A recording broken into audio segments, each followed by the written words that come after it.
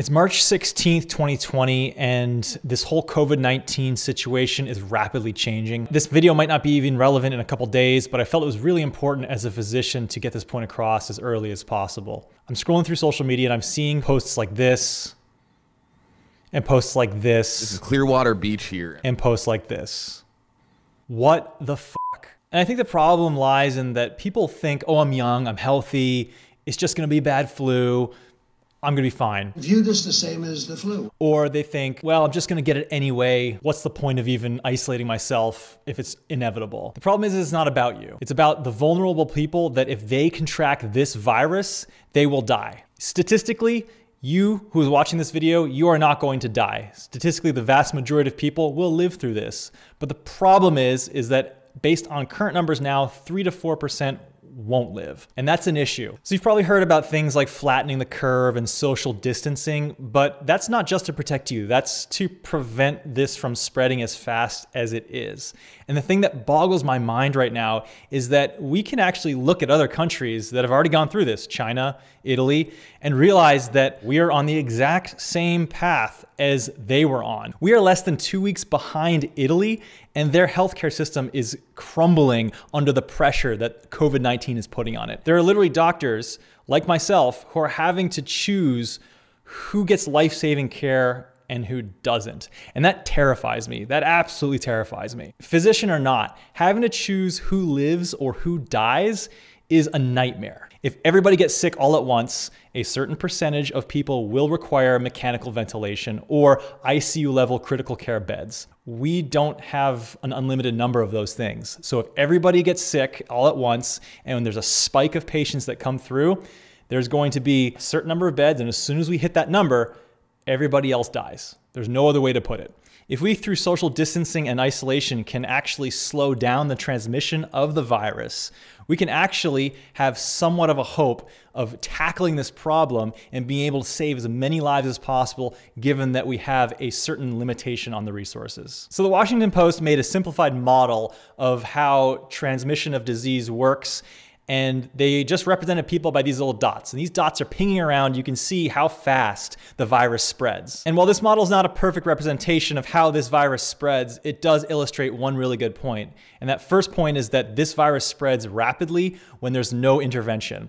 Second point, however, is that when we stop some of these dots from moving around, you can see how much slower the virus propagates. And you can actually plot a curve over time that shows the transmission of this disease. And you can see how much flatter this curve is when there's social distancing practices enacted. And that's the key here because once we hit that critical threshold and we fill up all the critical care beds that are available to us, that's when deaths start happening. And that's when physicians are start having to make these crazy, insane decisions on who gets life-saving care and who doesn't. And I really feel for our brothers and sisters in the healthcare system in Italy right now who are actually having to make those decisions as we speak. So this issue clicked for me a couple weeks ago and I realized we are barreling towards a crisis. And the frustrating thing is, I don't think everybody sees it. I know some people do, and that's great. But when I see images of people out partying in large groups, I can't help but think, what are you doing? This is literally preventable if everybody just got the message. This isn't meant to scare you. It's, I know this is a very serious video, which is a bit off of our normal brand, but I think it's important to get this across. You know, anytime we make recommendations, there's always gonna be a risk versus reward analysis that we have to look at. And in this case, the risk is, is, is your mental health and well-being. You know, social isolation is taxing and it can be harmful for some people. Only you can make a decision on where you draw the line, which what you think is appropriate and what's not. There are some essential services that have to go on. Again, as a physician, I have to go do my job. Now, we have canceled all of our elective cases and we're continuing to do the life-saving therapies that we need to do. So what does that mean for the general public? Well, it just means making smart decisions. Obviously, you have to go out and get groceries.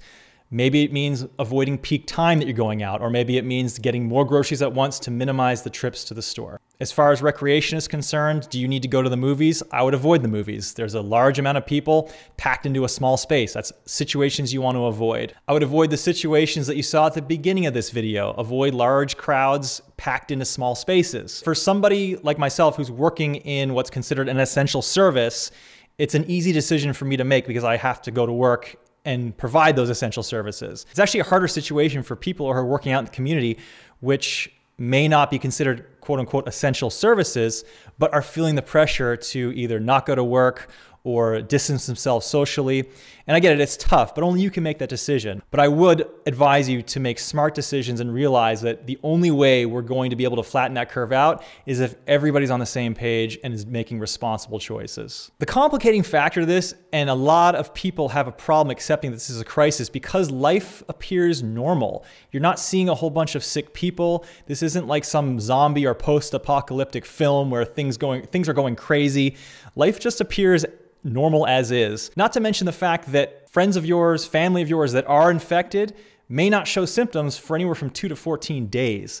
So that actually can create this scenario where they're infectious and they can spread the virus but they don't look unwell. So that's why people say if you've been traveling abroad in a high risk zone, self quarantine yourself for 14 days until you know you're not infected. In the end of the day, this is the only point I wanted to get across is that we're at a critical point now where we can actually change this if we all work together. And I know a lot of people will say that I'm overreacting and that, oh, it's not such a big deal. But I would just ask you to look at the countries who have already been through this, who are going through it now, like Italy. That's literally a crystal ball to look into the future. I I don't see how people don't realize that this is exactly where we're heading. And the only difference is we have a chance right now to act and to do the responsible thing and make a difference. And ultimately, in the end of the day, if we end up doing too much and we inconvenience ourselves, well, so be it. At least we avoided a crisis. But if we do too little and we don't slow this down, we will have friends and family that die. And that's just the reality of it. So before we end this video, a couple quick rapid fire recommendations. Wash your hands often. Avoid touching your face. Avoid sick contacts, obviously. If you're sick yourself, stay at home. Avoid hoarding things like toilet paper, hand sanitizer, soap. Everybody in your community needs these items to stay healthy and ultimately keep you healthy. And finally, avoid buying or even stealing masks from the hospital. There's actually a shortage uh, of masks for healthcare professionals, which is just absolutely crazy. So unless you're sick, you don't need a mask. So this video isn't meant to scare you. It's not meant to create anxiety. I just wanted to address a lot of what I would call irresponsible behavior that I've been seeing online and for people to realize that this isn't just a flu.